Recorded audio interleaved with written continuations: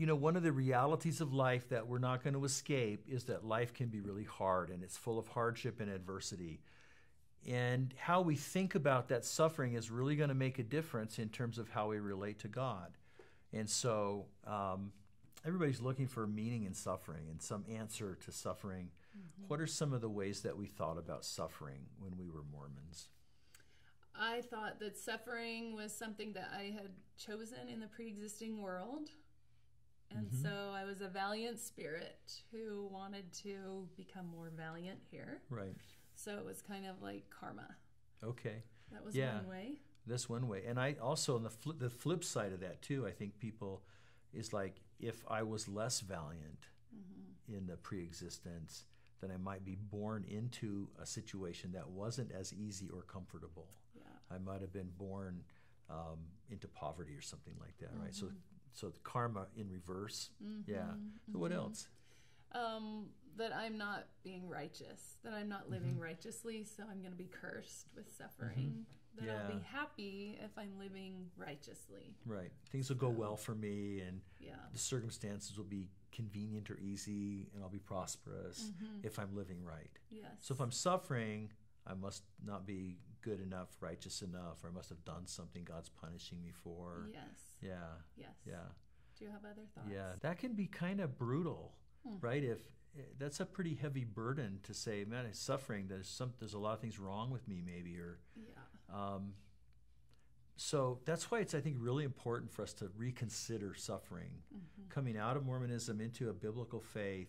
That we really reconsider the whole idea of what suffering is about and its meaning, and how God uses suffering in our lives. So let me read um, in Philippians chapter one uh, verse 29. And then mm-hmm. let's talk about some ways that God uses suffering. Okay. For you have been given not only the privilege of trusting in Christ, but also the privilege of suffering for Him.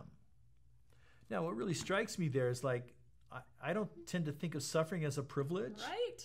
Uh, trusting in Christ, that's great. How is suffering a privilege? What, is, what does the Bible mean by that? What's the benefit of it, or how is it a good thing for us? Well, I think like when I I've been a Christian for 27 years, and it was only over a year ago mm. that that verse I was like, "Come again?" Yeah, it's really right. Yeah. And I don't. There's no way we can see suffering as a privilege if we have a skewed vision of God. That's a great point. There's no way. Mm-hmm. Our the most important thing about us is our ideas about God and all its associated images, mm-hmm. because that defines how we do this life. And so. Right suffering like the first 10 years after I started walking with the biblical Jesus, I wasn't getting my way. I'd grown up with a very what I call a linear theology yeah. where I do A and B and God's supposed to show up and do C. Right. And right. financial security happened to be one of my idols where I went to for comfort and mm-hmm. security. Mm-hmm. I didn't know that. Right. So God wasn't showing up like I wanted. And right. He's supposed to bless you in certain ways to take away the insecurity of right related to money right yeah. yeah. and i was living righteously i was walking with him obediently right so you got the a and the b and the c's not and happening it wasn't happening right? and what it led to when i didn't see suffering as a privilege i didn't even have that theology of suffering was me shaking my fist at god right. me protesting me demanding i couldn't surrender mm-hmm. and so that was a huge shifting point for me when i saw okay god's my formula it doesn't really work for god and yeah, then yeah. i had to get and it was when i got introduced to this vision of the trinity as this community of love mm-hmm. who's for me not yeah. against me so for me that they're determined to detach me from all the second all created things that i've put in first place okay, in my right, soul right right so things that i have said maybe not verbally or even cognitively that yeah. I, but I've but I've acted like they're really of ultimate importance. Yes. They're really more important than God. I would say that God is most important, but when I in my actions or choices, I'm looking to something else for my identity, or I'm looking to someone else, something else for my purpose for living, right? Yes, for comfort, yeah. for power, for mm-hmm. approval, yeah, for security. Okay, right yeah. something else besides God for, yes. for all of those elements of life. And yeah. all day so, long we're pra- yeah. plagued by that. Yeah, it's it's built into like the human heart, right? Yes.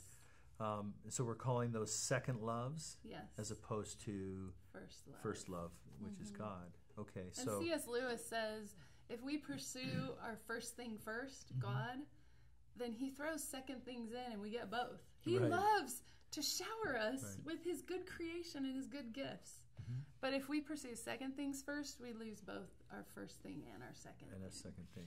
So, so then let's explore how does suffering then have the impact on those second loves? How does God use that to purify that?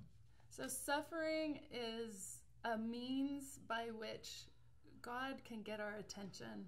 I'm not saying God causes the suffering mm-hmm. necessarily, but nothing is wasted in God's kingdom. Mm-hmm. And so for me, it was through this him not just giving me the candy I wanted, right? The financial security, right? The blessings. Really, it's wanting the blessing more than the blesser, right? Um, Good. It began to expose. I do want the blessing more than I want the mm-hmm. blesser. Yeah. I want my security now. I don't want to wait for it. Mm-hmm. I don't want to wait for his timing, and I certainly don't want what he has in store for my soul in the process. Right. right. And so I'm going to call that detachment. The gift, the I think one of the uh, how does the version say uh, in Philippians? Yeah, it talks about we we have the, the, privilege, the privilege of the suffering. Privilege. Mm-hmm. The privilege is that. Um, we become when we lean in and open ourselves to this process of detaching from our second loves mm-hmm. and making God our 1st mm-hmm. love in the journey of suffering, that's the incredible opportunity. Because when our vision in the garden, before Adam and Eve ate the apple, ate the fruit from tree of knowledge of good and evil, right. their vision of God was askew. They stopped seeing him as the faithful provider who loves them. And as a result, they took control. Right. And so mm-hmm in suffering, it's that opportunity for our vision yeah. of Him to be remade. Yeah, because suffering has a way of taking me out of control. Yes. I can't control the yes. pain. I can't control the circumstances, whatever. Right. So yes. I have to, I have to approach God then in a dependent way now. Yes. Right. Yes. Okay. So so God uses suffering for that. That's a privilege. Um, it helps us to then clarify then who God is, our sense of Him. So, how does suffering help us to grow in our intimacy with God? So, suffering is is the invitation to release our second loves to mm-hmm. God. Mm-hmm. And when we do that, He comes in and it, through suffering and through waiting, what happens if we open ourselves to it and we don't fill that void in our souls that we're looking to fill with comfort, with power, mm-hmm. with security, with right. whatever it is? Right. It's like the Trinity comes in and they're carving out our souls mm-hmm. in the process to create more space for them. Yeah, yeah, yeah. And that's the beauty of suffering. If yeah. I open myself to, they're expanding my soul right. to create more space for more of them, which releases me to live out who they design me to be mm-hmm. more with mm-hmm. the freedom to love, the peace as I'm yoked more closely to Jesus. Right. They become truly more my first love. Right. And they know I will only be at peace and at rest and live freely and lightly mm-hmm. when I'm yoked to mm-hmm. Jesus. Yeah. That's really profound because it's such a, a change, a transformation to think of suffering that suffering proves that God is against me. Yes. That's how we thought about it before. But now we can say that suffering proves that even God is for me. Yes. Right? Because He's yes. doing something far transcendent. Yes. Um, in terms of our relationship with Him. Yeah. Yeah. So He's not necessarily the cause of the desolation. Right. But He is so, so for us that He knows I want their soul to be at rest. Right. I want them to be filled to overflowing right. with my love. Right, and you can use every tool yeah. to help us to get there. That's awesome. I hope that's encouraging to you because you know somebody once said it either you're in suffering now or you're just coming out of it or you're about to go into it. Mm-hmm. So, in other words, that's all of us, right? And so hopefully this is a great encouragement to you to see God's working in your life, to see it a different way than you've ever seen it before to realize that even if you're going through the hardest, hardest things, that God is still for you and He still loves you.